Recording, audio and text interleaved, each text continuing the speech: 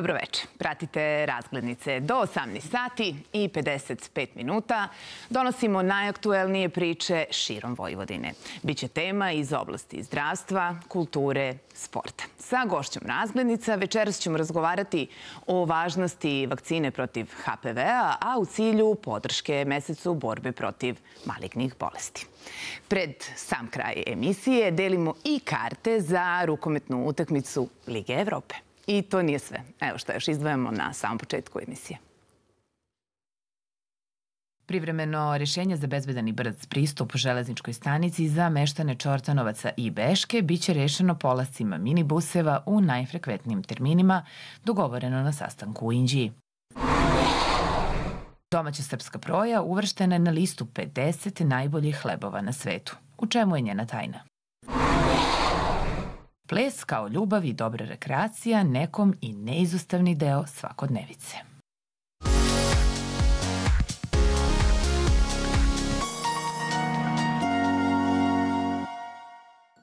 Nemine scene u uginulih ptica na samom obodu sela Nakova u pograničnom delu Atara na severu Banata – uznemirile su javnost. Alarmirane su sve nadležne službe, izvršen je uviđaj i uklanjanje uginulih ptica, a nakon svih neophodnih analiza očekuje se da će javnost biti upoznata šta je uzrok tog nemilog događaja.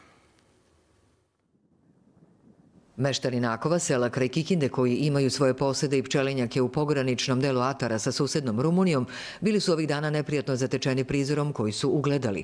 Na desetine čak stotine uginulih ptica, uglavnom vrane, ali gačci, ležele su na tlu ili po krošnjama obližnjih šumaraka, najčešćih odmorišta ptica koje stižu iz pravca susedne Rumunije.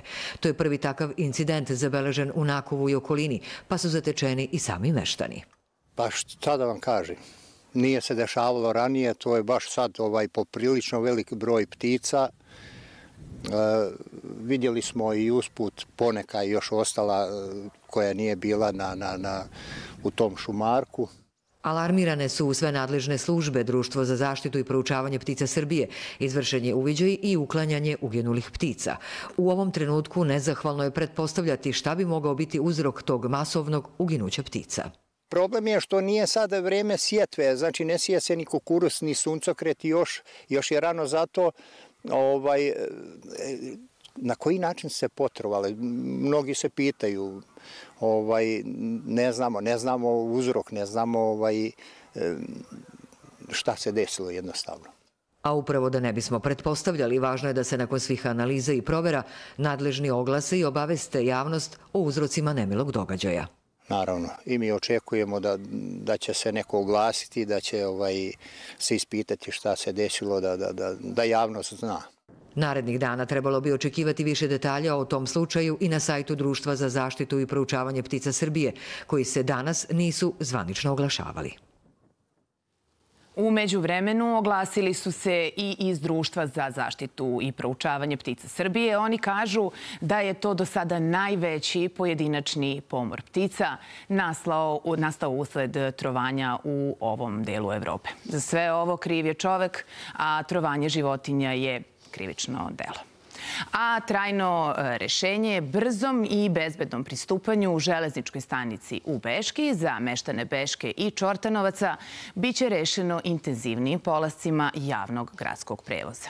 Međutim, dok to ne bude realizovano, prelazno rešenje je da prevoz putnika minibusevima koji će saobraćati između ta dva mesta do nove železničke stanice u najfrekventnijim terminima, rečeno je nakon sastanka održanog danas u Inđiji. Zahtev da se vrati železnička stanica na mesto gde je nekad bila je nerealan i nemoguć zbog reljefnih i tehničkih mogućnosti izgradnje brze pruge. Saopšteno je ranije iz Ministarstva građevinarstva, saobraćaja i infrastrukture. Podsjetio je tokom sastanka predsednik GAK, ali i prihvatio inicijativu meštana koja je izneta na sastanku da se još jednom uputi molba za novo tumačenje, koje bi podrazumevalo zaustavljanje voza na toj lokaciji u trajanju od 2 do 3 minuta. Dakle, ovo je više nego jasno da zahtev dela građana meštana Čortanovaca koji traži da se uspostavi ponovo železnička stanica u Čortanovcima je apsolutno bez predmeta. Dakle, više nego jasno kaže da iz tehničko-tehnoloških projektnih ra razloga ne možemo da uspostavimo ponovo stanicu. Pričamo o brzoj pruzi. Dakle, to je nešto što je po meni nedvosmisleno rečeno, ali opet ćemo, evo i mi kao opština, to su rekli da će učiniti predstavnici mesnih zajednica i Čortanovaca i Beške, još jednom da tražimo dodatno tumačenje da li to podrazumeva i zaustavljanje od 2,5 ili 3 minuta ili se odnosi samo na stanicu. Dakle, to je ono što ćemo uraditi zajednički danas. Do tada uvedeno je osam novih polazaka minibuseva koji saobraćaju u najfrekventnijem delu dana između Čortanovaca, železničke stanice i Beške. Uvođenje osam novih polazaka uz postojeći devet polazaka javnog prevoza trebalo bi da reši problem lakšeg, bezbednijeg i bržeg pristupa železničkoj stanici za meštane ova dva inđiska sela. Nadaju se u tim mestima. Rešenje je nađeno, tačnije već od danas krenulo, krenuli su ti kružni autobusi koji će prevoziti meštane uvođenje danas to je otprilike nekih 16-17 polazaka, što mislim da je stvarno ovaj, i dovoljno. Pored toga planirana je izgradnja puta u dužini od 1300 metara od Čortanovaca do železničke stanice, kako bi se Čortanovčanima do voza skratio put. To je deo privremenog rešenja dok se ne obezbedi trajno, a koje će podrazumevati intenzivnije polaske javnog gradskog prevoza nakon završetka procesa javno-privatnog partnerstva u opštini Inđija. A prolećna akcija čišćenja grada nastavljena je u Novom Sadu i to u Primorskoj ulici, gde je sa velike zelene površine kraj kanala uklonjeno smeće. Radnicima javno-komunalnog preduzeća Čistoća na doručku se pridružio gradonačelnik Milan Đorić. Doručak sa radnicima javno-komunalnog preduzeća Čistoća, gradonačelnik Đurić, iskoristio je kako bi se informisao o njihovim problemima na radnom mestu. Samo da čujemo i probleme s kojim se oni suočavaju na terenu, da čujemo šta bi mogli još dodatno da poboljšamo kao grad, ujedno i da čujemo šta misli i rukovodstvo firme. Đurić je pohvalio svakodnevno zalaganje radnika čistoće u održavanju higijene u gradu i podsjetio da Novi Sad svake godine ulaže u obnovu kontejnera i mehanizacije u tom komunalnom preduzeću. Mislim i na kontejnere, na klupe, na korpe, ali takođe i na mašine, mislim na kamione za odnošenje smeća, za pranje ulica, za čistilice, takođe i drago mi je, kažem, da e, ima radnika, to je oko 300 ljudi koji u tri smene svaki dan rade. Velika prolećna akcija čišćenja grada počela je prošle nedelje, a prvi koji je uređen bio je Dunavski park, gde su u saradnji sa gradskim zelenilom zasađena nova stabla. Usledilo je uređenje železničkog parka, a nakon toga zelene površine u Primorskoj ulici na Klisi. U okviru te akcije ove nedelje Čistoća će u mesnim zajednicama postavljati kontejnere za kabasti otpad, a u planu je i odnošenje baštenskog otpada. U nastavku razglednica slede teme iz oblasti zdravstva. U cilju podrške mesecu borbe protiv malignih bolesti, Dom zdravlja Novi Sad planira akciju otvorenih vrata za vakcinaciju dece protiv HPV virusa. O važnosti vakcinacije razgovaramo sa gošćom razglednica, doktorkom Ljerkom Popov. Gospođo Popov, dobroveče i dobrodošli u naše dobroveče razglednice. vama i vašim gledalcima. Dakle, evo, pred nama je dan otvorenih vrata. Za kada je zakazana ova akcija i u kom periodu, odnosno u kog uzrasta roditelji trebaju da dovedu svoju decu do Doma zdravlja? Pa od današnjeg dana, od 4. marta pa sve do kraja ove nedelje smo organizovali otvorena vrata zbog povećanog obuhvata vakcinacije dece ovaj, sa vakcinom protiv HPV-a ka u smislu primarne prevencije karcinoma grlića a radno vrijeme Doma zdravlja od 7 do 20 časova, pa samim tim i vakcinacija će se sprovoditi upravo ceo dan. Posle ovih nedelju dana ćemo vidjeti kakav će biti odaziv, pa ćemo Mhm, verovatno akciju nastaviti ovaj ceo mesec kako bi podržali borbu protiv karcinoma ovaj, protiv svih malignih bolesti, pa tako i karcinoma grlića. Što se tiče, evo, spomenuli ste brojke, što se tiče same statistike, podaci su da je u celoj Srbiji e, ovu vakcinu primilo 31.309 dece i to do januara 2024. godine. E, šta i o čemu govore ove brojke? Da li je to malo ili e, je dovoljno za sad? Pa to su početci vakcinacije. To naravno nije dovoljno. Tu je obuhvat negde oko 5% ove dece uzrasta od 9 do 19 godina i muškog i ženskog pola koja treba da se vakciniše ovom preporučenom vakcinom. Međutim, svi zajedno se trudimo u saradnji sa vama medijima, sa Institutom za javno zdravlje, mi kao zdravstvene ustanove, da povećamo obuhvat dece koja će biti vakcinisana, pa se nadam da će to u godinama koje, koje su pred nama i u periodu pred nama biti daleko veći broj dece koji će biti vakcinisan sa ovom vakcinom. Kako bismo e, još više podigli svest o važnosti zapravo ove vakcine i približili je e, našim gledalcima, da li je neophodan e, zdravstveni pregled pre samog vakcinisanja? Pa pre samog vakcinisanja se obavi jedan informativni razgovor sa pedijatrom.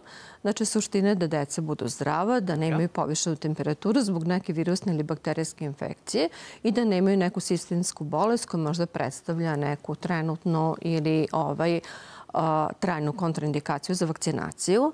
Inače sam, kao što sam rekla, vakcinišu se i devojčice i dječaci uzrasta od 9 do 19 godina i devojčice i dečaci. I ono što je pohvalno da je Dom zdravlja Novi Sad mhm. nedavno dobio nagradu od udruženja ovih građana za borbu protiv malignih bolesti za najveće obuhvate dece sa ovom vakcinom koji je upravo bio u Novom Sadu. Naime, Dom zdravlja Novi Sad znači vakciniše decu već unazad ove dve godine, ovo je treća godina prvo kroz projekat koji je organizovao nosilac projekta bio Institut za javno zdravlje Vojvodine zajedno sa nama, sa Domom zdravlja Novi mhm, Sad, mhm. pod pokroviteljstvom grada, a nakon toga mi smo bili pioniri, znači u ovoj vakcinaciji i nakon toga je naš fond za zdravstveno osiguranje uveo ovu vakcinu kao preporučenu vakcinu, što znači da je ta vakcina besplatna za svu decu koja žele da se vakcinišu. I samo da naglasim da deca ovaj, mlađeg uzrasta, znači do 14 godina, dolaze sa roditeljima na vakcinaciju, a deca od 15 godina mogu i samostalno doći da se mhm, vakcinišu, mhm. pošto im je to zakon omogućio. E, iz ugla lekara, zašto se obavezno e, vakcinisati protiv e, HPV virusa? Pa ovo je e, karcinom jedan redkih karcinoma koji se može prevenirati, mm -hmm. odnosno spriječiti sa vakcinacijom. Vakcinacija se sprovodi znači, kod mladih koji nisu imali seksualne odnose, odnosno koji nisu bili u kontaktu sa humanim papiloma virusom. Tako da zemlje koje vakcinišu unazad već 10 godina i više imaju ovaj veliko iskustvo i kroz to je dokazano da broj od malignih bolesti opada negde od karcinoma grlića negde za 50%, dok pre malignih bolesti i genitalnih kondiloma čak i do 70%. Jesmo li dovoljno svesni koliko je HPV zapravo opasan? u današnje vreme? Pa mislim da nismo. Mm -hmm, mm -hmm. Nastojimo i mi zdravstveni profesionalci zajedno sa ovaj, vama novinarima, apelujem i na prosvetne radnike po školama da podignemo tu svest. Jer infekcija sa humanim papiloma virusom obično prolazi asimptomatski, da osobe nisu ni svesne, znači da su ove inficirane i čak u 90, od, od 90% slučajeva se znači mlade osobe u roku 2 do 3 godine izbore sa ovim virusom. Međutim, problem je tamo gde ova infekcija ostane hronična, odnosno persistentna. Kroz vreme se prvo razvijaju prekancerozne lezije, a kasnije i sam kancer. I naša zemlja se nalazi na četvrtom mestu po broju obolelih žena od karcinoma grlića, na trećem mestu po umiranju od ovog kancera. I evo, verujem da će naše gledalce zapravo zanimati ovo poslednje pitanje koje ću vam postaviti. Da li ova vakcina ima e, neko neželjeno dejstvo i ako ima koje je? Pa nema nikakvi gotovo nuspojava. Ako se nešto desi, znači to su neke lokalne reakcije na mestu uboda crvenila ili otoka kao i kod svake druge vakcine. Dakle, ne boli ništa? A, ne boli I ništa. Korist od vakcinacije je veoma velika. Tako da pozivamo sve naše... A vrata Doma zdravlja su, su otvorena. otvorena.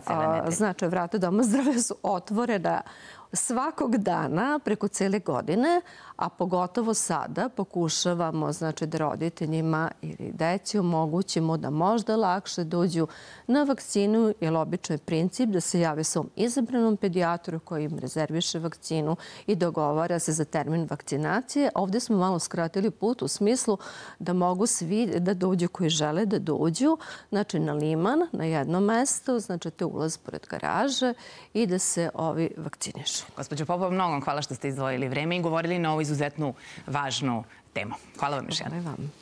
E, danas se obeležava i Svetski dan gojaznosti, a dočekujemo ga sa neslavnim podacima po kojima više od milijardu ljudi na svetu živi sa ovim zdravstvenim problemom.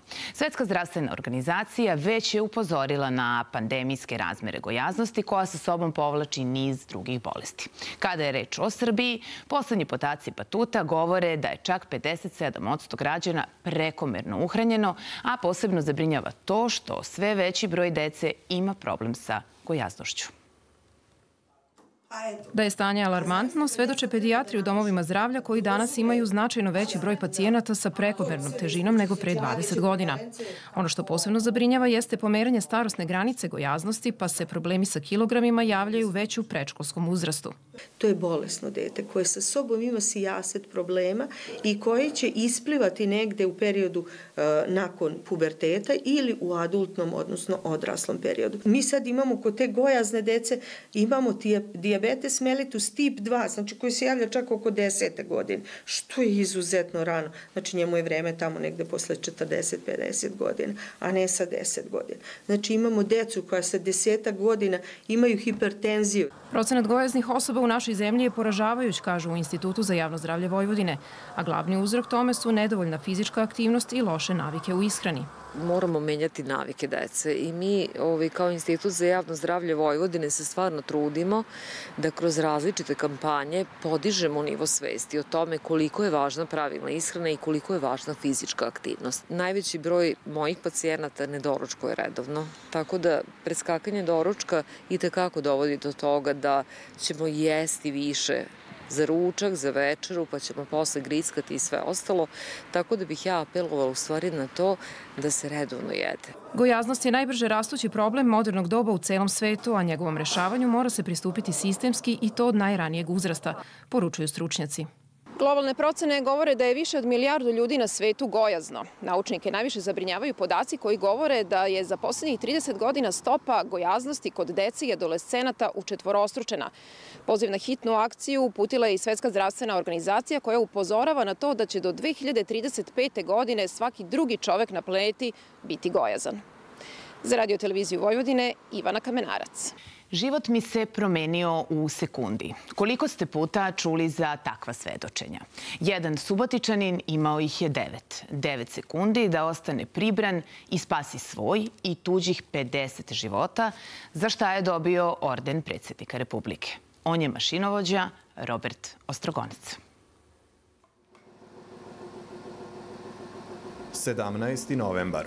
Sasvim običan radni dan za mašinovođu Roberta Ostrogonca, koji kreće sa kompozicijom iz Novog Sada ka Subotici. Dok napušta Ratkovo, jednu od usputnih stanica, mrak je dobrano pao. U vozu je 50 putnika, on i kolega kondukter, jezde sa stotinu na sat jednom od novih ruskih dizelki. I onda ono što nikada u životu ne želi da vidi. Ispred njega, na oko 200 metara udaljenosti, stoji teretni voz – pritiska svaku moguću kočnicu koju može, izlazi iz upravljačke kabine i saopštava putnicima da se pripreme za udar. Kad pogledamo nazad i ne verujem, da, znači, možda, ne verujem da bih ponovio takvu reakciju, znači da, da, da sad nešto da simuliramo, neki simulator, jednostavno u tom trenutku, valjda i adrenalin i sve, znači, drugačiji čovjek reaguje zaista, znači, ono, u, u toj nekoj situaciji da, znaš, do or die, Znači ja sam ono, moraš uraditi, inače nemate. Bez te reakcije ne bi ga ni bilo. Toga je postao svestan po izlasku iz voza s povredom ramena, kada je video da od upravljačke kabine nije ostalo ništa. Smrskana u sudaru s pokvarenim teretnjakom. Kolega povređen dva puta je pretrpeo žestog udarac u rebra, od kojih mu je šest slomljeno. Poziva pomoć koja srećom brzo stiže i zbrinjava posadu i 50 putnika, od kojih neki u danima koji slede šalju poruke zahvalnosti na spasenom životu. Kad sam pročitao prvu poruku, ja sam se skoro rasplakao jer to je baš bilo nekih par dana posle sudara i, ono, i sumnja u, u, u sebe i u sve. I znači tu kad mi je to došlo, znači šta god da se desi, šta god da, da bude posledica svega toga, znači ja znam šta sam uradio, ljudi su to videli i za mene je to bilo dovoljno. Ovu priču gledate već oko dva minuta. Robert za opisanu reakciju nije imao ni približno toliko. Svega 9 sekundi od momenta kada je pri brzini od stotinu na sat video voz na šinama do udara u poslednji vagon teretne kompozicije. 9 sekundi za reakciju koja će sačuvati više od 50 života. Reakciju vrednu medalje za hrabrost koju mu je uručio predsednik Republike. Redka situacija da, da sam ostao bez teksta u životu i na, taj, na to odlikovanje gledam kao ajde neku odlikovanje za, za, za, za neki prethodni rad kruna kao neke moje karijere i obaveza da u nekom narednom periodu, da, što bi se rekao, zadržimo neki ovaj nivo posvećenosti poslu. Kojem se Robert upravo danas, nakon bolovanja, vratio, ne želeći da bude ništa drugo nego sasvim običan mašinovođa koji će svoje putnike ugodno prevesti od tačke A do tačke B gotovo filmska priča. A u Zrenjaninu je održana manifestacija Humanitarno selo, tokom koje su prikupljena sredstva za potrebe lečenja dece koja se nalaze u sistemu fondacije Budi Human. Ovu humanitarnu akciju organizovale su studentkinje Tamara Laković i Jovana Toškov. Mlade zrenjaninke Tamara Laković i Jovana Toškov do sada su učestvovale u brojnim humanitarnim akcijama – Obe studiraju u Novom Sadu, Tamara nemački jezik, a Jovana pravo, a odlučile su da u svom gradu organizuju humanitarno selo sa ciljem da prikupe novac za fondaciju Budi Human, a koji će biti usmeren za lečenje dece. Baš se sećam, jedna baka nam je na početku rekla da je humanost obaveza svih nas ljudi i da prosto bilo bi jako velika šteta da neko ovako nešto ne uradi i onda smo nas dve, ipak kažem, hoćemo da budemo uzor mlađima, da se nastavi i da se ovako nešto da kažem, uvede u tradiciju da se ponavlja. Videli smo koliko je zapravo dece, ovaj, nažalost, ovaj, na, nažalost ih je zadesila ovaj, tragična situacija i odlučili smo samo kroz priču jedan dan, pošto smo sa našom akademijom i, akademijom i profesorom Markom Pečićem ovaj, često pravile humanitarne ovaj, um, koncerte da prosto si nas dve oprobamo u tome i eto pokušamo nešto novo. Održane su različite radionice, a učešće su uzeli i horovi, pesnici, plesni klubovi. Bitno je da imamo svest o tome da treba da se pomogne nekome i zbog toga i učestvujemo na humanitarnim priredbama, zato što prosto e, svest o tome da postoji još neko i da je nekome potrebna možda pomoć je dovoljna razlog da decu učimo boljim primjerom. Za Jelenu Monić ovo nije prvo učešće u humanitarnim akcijama, a uključila su se i njena deca, Aleksandar i Dunja. Da pomognem deci da se što pre da što pre ozdrave. Vrlo rado učestvujem jer znam da će novac da ode u prave ruke i onima kojima je najpotrebnije. Eto, na taj način učim decu da malo razvijaju empatiju. Ja se inače stavim na mesto ti, to, to, te dece koje treba da se skupi novac i da im se pomogne, pa ja ću naravno da učestvujem u tome. Tamara i Jovana dobile su podršku i sugrađana koji su se odazvali njihovom pozivu i još jednom pokazali svoju humanost. Naše malo, nekome je puno. A domaća srpska proja uvrštena je među 50 najboljih hlebova na svetu. Kada se uzme u obzir kako se jednostavno pravi, a koliko je ukusna, nije ni čudo što je jedno od najpopularnijih jela u našoj zemlji. Proizvodnja se u zavisnosti od regiona razlikuje, ali su sastojci isti. Ljubav i znanje. Kako se pravi proja na severu Banata u priče koja sledi. Posmatramo ovu suvaču, odnosno mlin na suvi, odnosno konjski pogon. U Kikindi podignut još 1899. godine i mogu samo da zamislim kako se brašno tada proizvodilo. Nije ni čudo što je spomenik od velikog istorijskog i kulturnog značaja kako za naš grad, tako i za našu zemlju. A zašto kažem brašno? Pa otuda ne čudi ni činjenica da je naša proja proizvedena u našoj zemlji proglašena za 50 najlepših, najkvalitetnijih hlebova na svetu. Tim tragom da proverimo kako se u Kikindi pravi proja.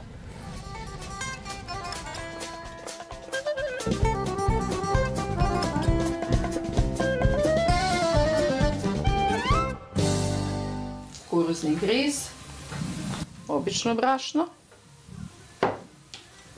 prašak za pecivo soda bikarbona, so i onda se to izmešaju prvo suvi sastojci. Kad se to dobro sve ovaj, izmeša, onda se dodaju kisela voda i ulje.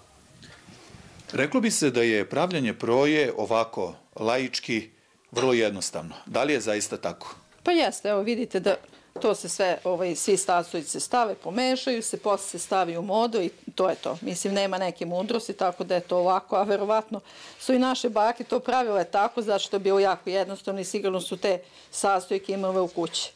E sad se to sipa u modu i to vam je sva mudrost. U zavisnosti od regiona u našoj zemlji proja se pravi na različite načine, ali su ljubav, znanje i poštovanje tradicije naših baka svakako isti ma gde da se nalazimo. Meni je žao što nisam svoj baku upoznala da imam original recept proje, možda je ona pravila drugačije, verovatno da je pravila drugačije i sve, međutim danas je to malo, dru, verovatno, modifikacija onoga, verovatno nije isto. Jeste slično, jeste lepo, jeste ukusno i sve, ali mislim da ono bilo zdravije.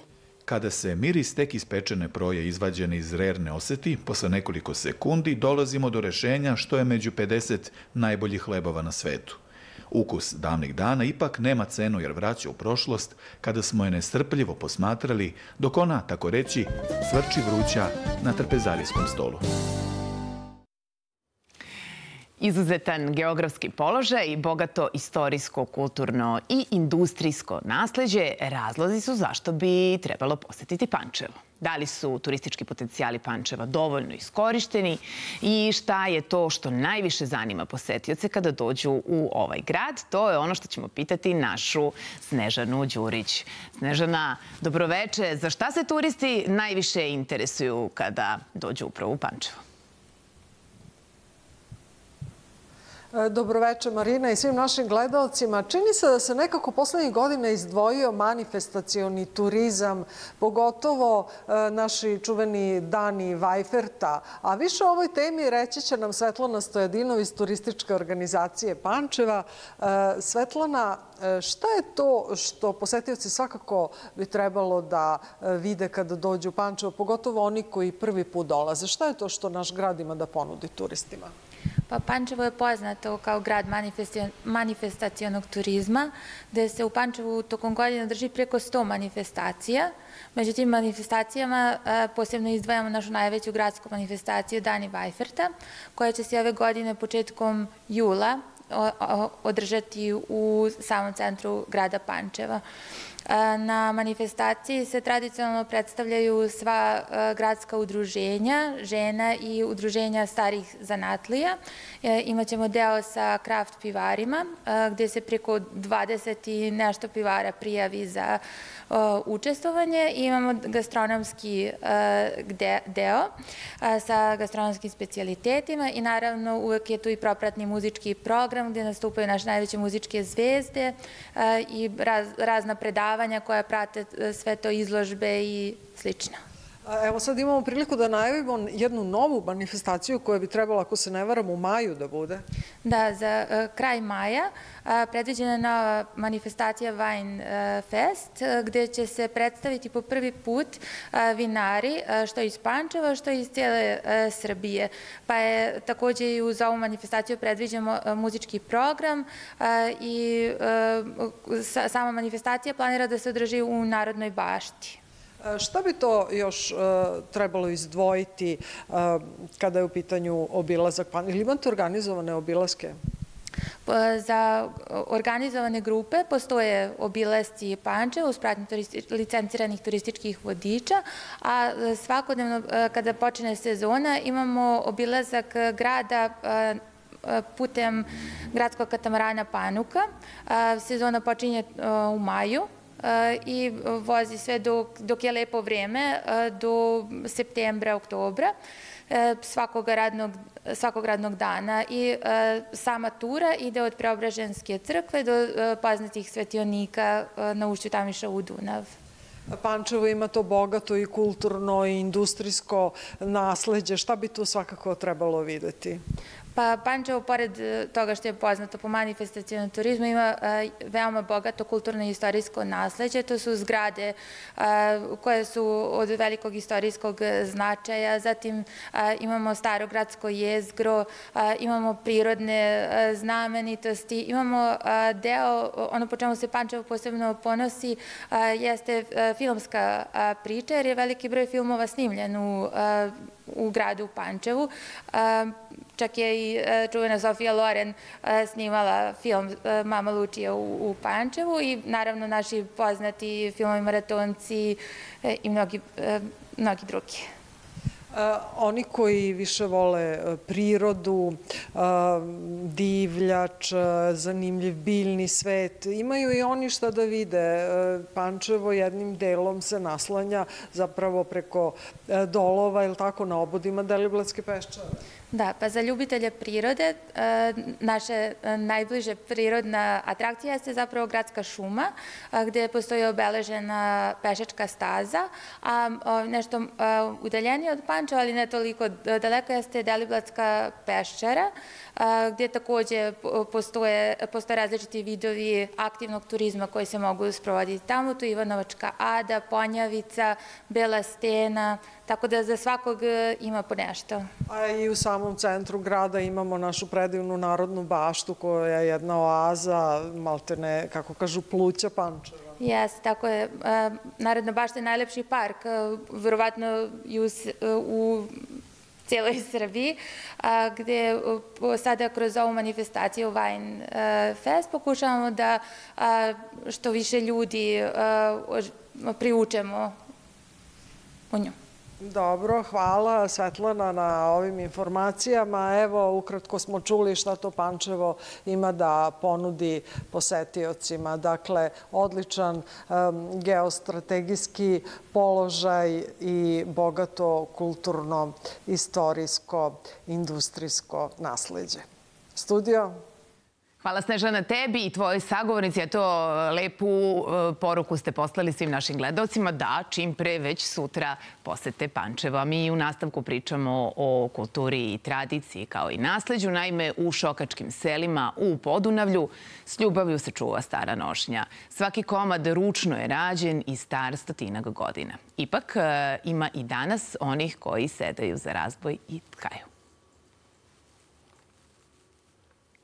Razboj star 200 godina, domaće platno, vunica, vešti pokriti ruku i nogu, sve to potrebno da bi se izad komad šokačke nošnje.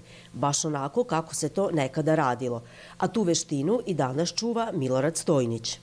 Prvo moraš osnovat, imati osnovu na kojem bi radio tarke, ponjave i sve to. To je još od moje prabake. Ostalo je i evo, radi se i valja, nije ko ove nove stvari što se pokvaru, pa ništa ne valja. I ono što je možda karakteristično za šokačku nošnju i šokačko ruvo, to je to šarenilo, živopisnost boja, možda čak nekad kombinacije boja koje ovako e, nisu baš jedna uz drugu, ali čini se u šokačku nošnju sve to i tekako ide. Pa evo ovako, boje jesu sve jedna s drugom i šokci volju kad se boje svađu. Tako da svaka boja, vidite kako je to lipo šareno. Da bi se napravila živopisna šokačka nošnja, početak je šema sa iscrtanim šarama i onda posao može da krene. Danas mladi neće to niti da rade, niti bilo šta slično, zato što jel, sve je moderno. Ja sam naučio od bake. Teško te naučiti? Pa jeste. E, tu glava stalno mora biti moraš brojat, moraš stalno misliti koliko iđe ovoga, koliko onoga. Glava, ruke, glava, ruke i noge. Glava, ruka i noge komplet stilo. Šareno i što se tiče boja ne baš dobro složeno, ali tako je to u šokačkoj nožnji. Berižani je rado nose na folkovnim nastupima, a sve što obuku ostalo je sačuvano od starijih generacija. Grad Sombor kao značajno obrazovno i kulturno središte od 1870. ima Somborsko srpsko pevačko društvo u čijem okrilju je 1921.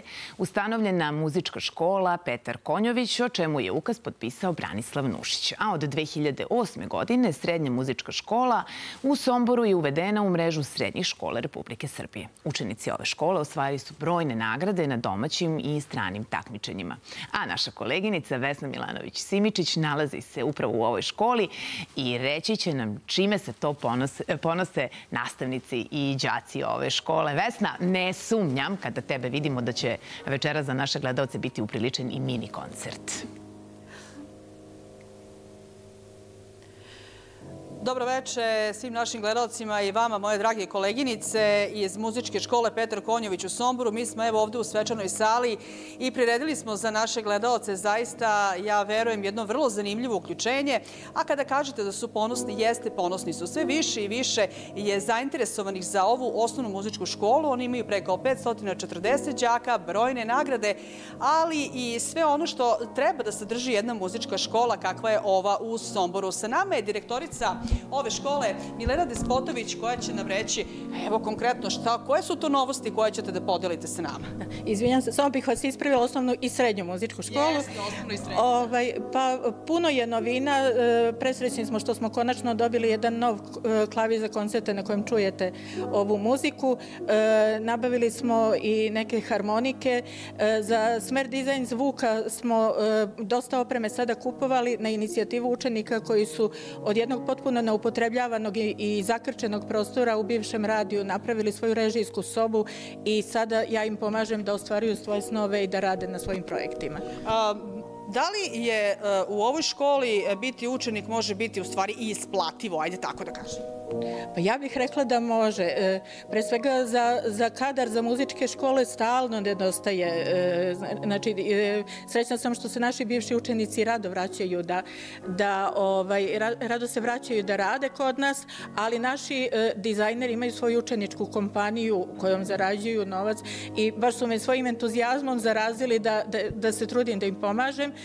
Zajedno sa Smerom za srpsko tradicionalno pevanje su napravili ovaj CD kojim, e, kojim su spojili i našu tradiciju, znači mi negujemo i tradicionalnu muziku i sve savremene trendove i naši učenici se za to obuče i zaista mogu i dok su učenici da zarade nešto. Hvala vam puno. A ovo što sada čujemo e, na klaviru svira Josip Gorjanac, e, osvojio je više nagrada sa svojim kompozicijama. Josipe, šta smo mi to evo upravo sada čuli? Čuli smo moju kompoziciju Reminiscenca, koja je bila napravljena za memorialno takmičenje za Andriju Čikića, dečaka koji je nažalost bio ubijen u incidentu 3. maja u školi. Uh, I ovaj... Uh, i na to... Koliko je važno biti uporan, koliko je važan talenat? Uh, pa na svu sreću imam urođen veliki talenat, tako da talenat zapravo najviše posla uradi sam. Ali, e, je još, ali se još uvek u ovo treba uložiti rad i treba se ponavljati da bi se moglo usavršiti. Bravo, vrlo sam uvereno. A ovde je sa nama i e, Slobodan Dančulović, učenik muzičke škole, koji je u solo pevanju osvojio e, dve nagrade. Odnosno, svi ovi učenici koji ćete večeras čuti osvojili su brojne nagrade. Ne bi nam sat vremena da pobrojimo sve to. E, kaži nam, zašto solo pevanje i gitara? Kako ti to kombinuješ? To je bio poziv od e, malih nogu e, i pevanje i gitara naravno. E, cilj mi je da takvu vrstu umetnosti podelim sa širom publikom i javnosti prosto na neki način koja da sada nije viđena. Hvala ti puno. A, a ovde u osnovnoj i srednjoj muzičkoj školi Petar Konjović neguje se i srpska tradicionalna muzika. Zamolit ću ove mlade dame da evo uživo za naše gledalce izvedu jednu numeru. Može. Gusta mi magla,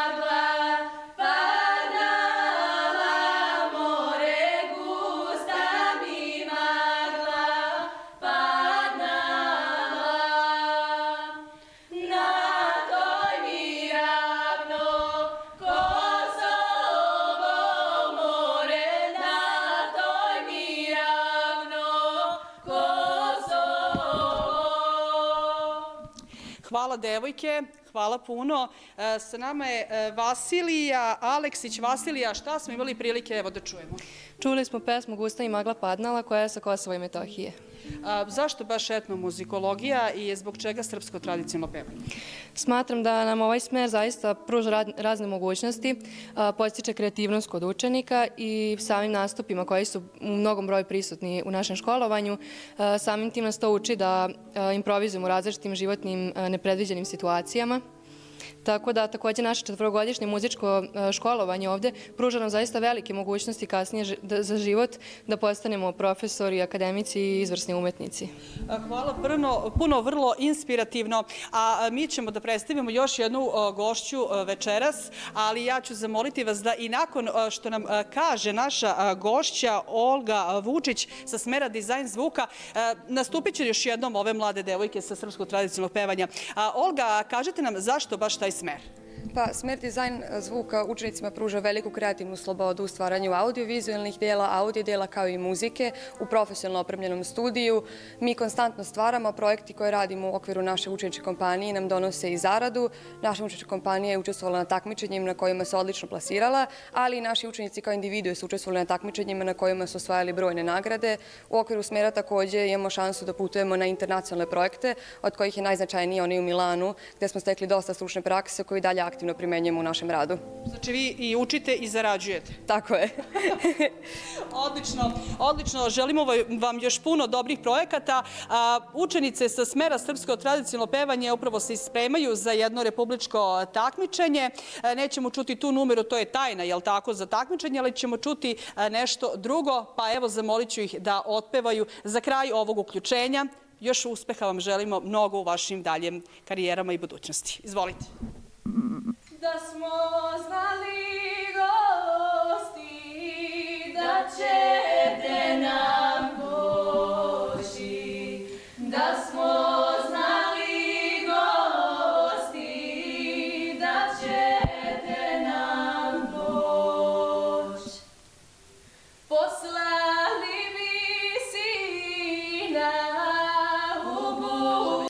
nastavku razglednica teme iz oblasti kulture. Nisu tako česta gostovanja solista u operskim ansamblima, međutim, proteklog vikenda Opera Srpskog narodnog pozorišta ugostila je Savu Vemića. On je bio deo opere Faust. Sava Vemić prešao je put obrazovanja od farmaceutskog fakulteta i Beogradske muzičke akademije do Njujorškog metropolitena u čijem je operskom studiju dobio priliku da se usavršava. Nastupao je u nekim od najvećih operskih kuća, poput Parijske opere, ali i sa najpoznatijim pevačima kao što su Placido Domingo i Ana Netrepko. Ja sam bio tri godine u Njujorku u operskom studiju Metropolitan opere i dok sam bio tamo, ljudi iz Havajske opere napravili su audiciju za operu Evgenij Onjegin i ja sam u Njujorku radio tu audiciju i onda su me pozvali i zaista jeste Havajska opera, zvuči stvarno um, e, ovako egzotično. Bio sam u Tokiju, da, 2018. Pevao sam sa Rastra u Čarobnoj fruli i bilo je posebno. Bilo je sjajno iskustvo i opera je bila posjećena i to je bilo u New National Theatre u teatru u Tokiju. U svojoj zemlji nastupao je za vreme koronavirusa na Kolarcu, gde je izvodio program srpskih solo pesama. Tada smo to izveli i naravno i tada na Kolarcu je bio ograničen broj ljudi koji može uopšte da uđe i tako ljudi su slušali sa maskama i to je bio jedan onako stvarno period um, čudan u tom smislu, ali, ali je bilo lepo nastupiti u Beogradu. Prvi put našao se i pred novosadskom publikom u operi Faust, gde mu je dodeljena uloga Mefista. Zahtevna je uloga i pevački i glumački i radili smo probe od 19. februara i naša publika je sjajna. Osjećaš se, osjećaš osjeća se ta podrška i osjeća se pažnja sa kojim ljudi slušaju i mm, naš, naš teatar je možda nešto manji nego neke druge kuće i baš zbog toga je atmosfera i intimnija i to, to prija. Kako kaže, tek je na početku osvajanja velikih operskih scena, pa se i mi nadamo da ćemo Savu Vemića tek gledati u najvećim operskim kućama. Večeras počinje festival Nedelja promene i trajaće do 10. marta. Pozorište promene osnovalo je festival pre 9 godina kako bi obeležilo rođendan svog teatra koji je na Novosadskoj akademiji umetnosti nastao davne 1979. godine. Premijernim izvođenjem Čehovljeve Tri sestre odpočeće deveti festival Nedelja promene. Izvode uglavnom studenti treće godine glume i to u dve podele. Mislim da će biti autentične i naročito zbog toga što se one smenjuju. Mislim, menjaju se ove glumice koje igraju. Mislim da je to ovaj, još, još jedna tako interesantna i zanimljiva stvar koja će se desiti. Onda ćemo moći da vidimo kako je jedna osoba, kako druga osoba pristupila istom liku i onda mislim da je to, to je jedna od zanimljivih stvari. Radujem se zato što uh, nekako ovo nam je prva uh, predstava kolektivna naše klase, gde je neka celina, gde je neki komad, gde se mi borimo zapravo s tim komadom, pa ćemo da vidimo večeras kako će publika da reaguje, ali mi se iskreno, iskreno radujemo i baš smo uzbuđeni zbog te premijere. Predstave pozorišta promene uvek donose posebnu energiju i kreativnost koja krasi te mlade ljude. Ove godine na festivalu izvešće pet predstava, od kojih su dve premijere, a sve pod sloganom Doživi promenu. Ono što je nama u promeni važno jeste da smo tu mi sada mladi, ali da je ova promena kada je nastala imala neke članove koji su sada naši profesori. I ono što je bila naša ideja jeste da naša publika doživi tu promenu koju mi znamo, promenu koju su osnovali naši profesori, promenu koju su kasnije obnovili naše starije kolege i studenti koji su sada već oformljeni glumci i da neki način približimo publici šta je to promena zapravo, da je doživimo i oživimo. U pozorištu promene od 79. godine prve korake na pozorišnim daskama imalo je mnoštvo glumaca, studenta Akademije umetnosti.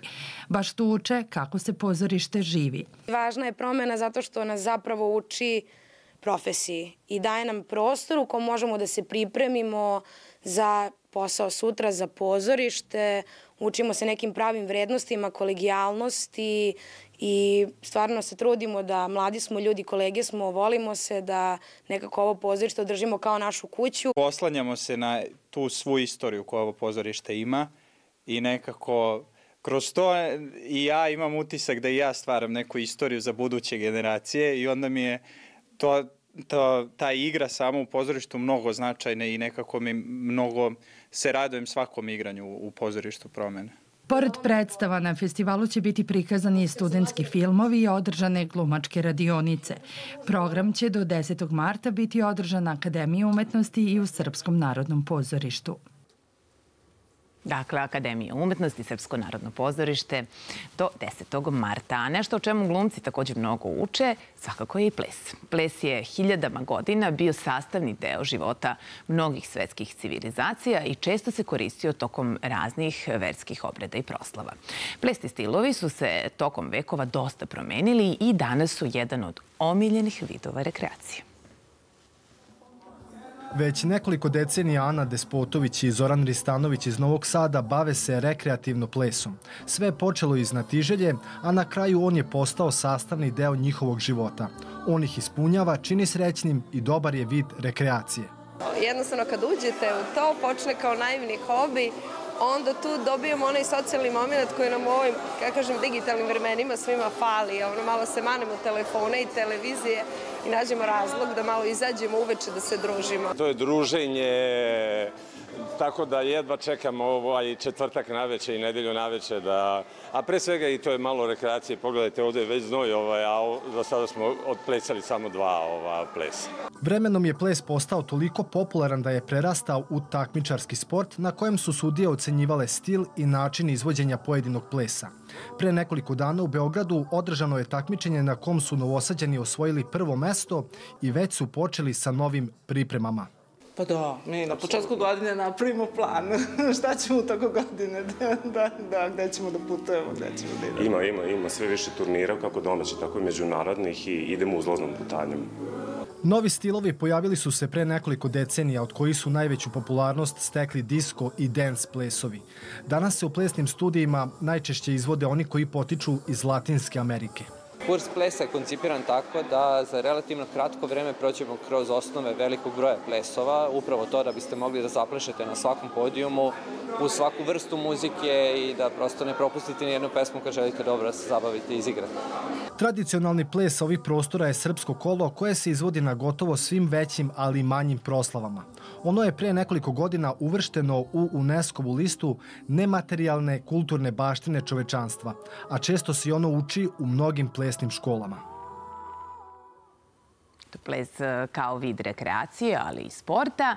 I mi u nastavku pričamo o sportu. Naime, vodimo se pričom koju smo vam najavili. Delimo karte za rukometnu utakmicu Lige Evrope između Vojvodine i švajcarskog kadetana. Utakmica se igra u utorak, odnosno sutra, od 20 sati i 45 minuta na Slanoj bari, a novosađanima je potrebna velika podrška za pobedu od četiri razlike koja bi im donela plasman u top 12 fazu Lige Evrope. Ulaznica je malo i nema sumnje da će kao i pre nekih nedelju dana hala biti puna.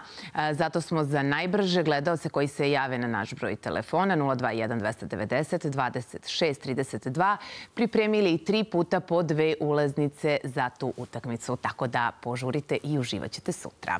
A opštinsko prvenstvo za mlade šahiste i šahistkinje održano je u Novosadskoj osnovnoj školi Prva Vojvođanska brigada. Više od 200 učenika nadmetala se za što bolji plasman i odlazak na okružno takmičenje. Evo priče. Takmičenja u pojedinačnoj i ekipnoj konkurenciji ove godine organizovano su u Novosadskoj školi Prva Vojvođanska brigada. Ukupno 250 mladih šahista i šahistkinja su učešće obezbedili zahvaljujući dobrim rezultatima u okviru svojih škola. Nekima od njih ovo je bilo prvo značajnije nadmetanje, ali bez obzira na iskustvo svi podjednako vole, kako su nam rekli, najzanimljiviju igru iz koje svašta mogu da nauče. Naučio me tata da igram šah i dopalo mi se pa to kretanje figura i, i lepota igre. Prvo me počeo da uči tata i kako je vidio da meni to ide, on me upisao na šah u školi, pa sam ja krenula da idem i svidao mi se, pa od prvog razreda idem. Obično potezi, kako se slažu figure, čudni potezi kao što je, na primer, rokada, ampasan i tako to. Mene prvo naučio moj tata nešto malo o šahu, onda me, on, onda me malo pogorila moja sestra Irina i onda sam krenula na šah i, i, i učio me učitelj Branislav. Šta je to što se tebi dopada u šahu? Pa trebaš da koristiš mozak i trebaš jako puno da paziš. Opštinsko takmičenje u šahu organizovao je Šahovski savez Novog Sada uz pomoć Pokrajinskog saveza i gostoprimstvo osnovne škole na Novom naselju. Dosta deci igra šah, posebno u Novom Sadu. Imamo jako puno škola koje rade sa decom školskog uzrasta, jako puno aktivnosti koje su posvećeni deci školskog uzrasta i evo, od skoro imamo novu vest da je Zavod za unapređivanje vaspitanja i obrazovanja donelo odluku da će šah biti uvršten u slobodne nastavne aktivnosti kao program. Tako da smatram da time činimo jako velike korake što se tiče šaha za taj uzrast. Organizovanim takmičenjima i e, utičemo naravno i na, i na popularizaciju sporta, e, svakog sporta pa i šaha, tako da se nadam da će ovo takmičenje i ova organizacija za koje smo se potrudili da zaista protekne u najboljem redu, uticati na to da se što više mlađih i pogotovo učenika od prvog do četvrtog razreda opredele za šah. Dečaci i devojčice koji su ostvarili najbolje rezultate imaće priliku da se nadmeću na okružnom takmičenju. U nastavku programa sledi serija od vrata do vrata. U 25 pratite kviz Kocka. U 21 sat očekuje vas nova epizoda Kalkanskih krugova. Želimo vam prijatno veče. Ostanite uz RTV. Doviđenja.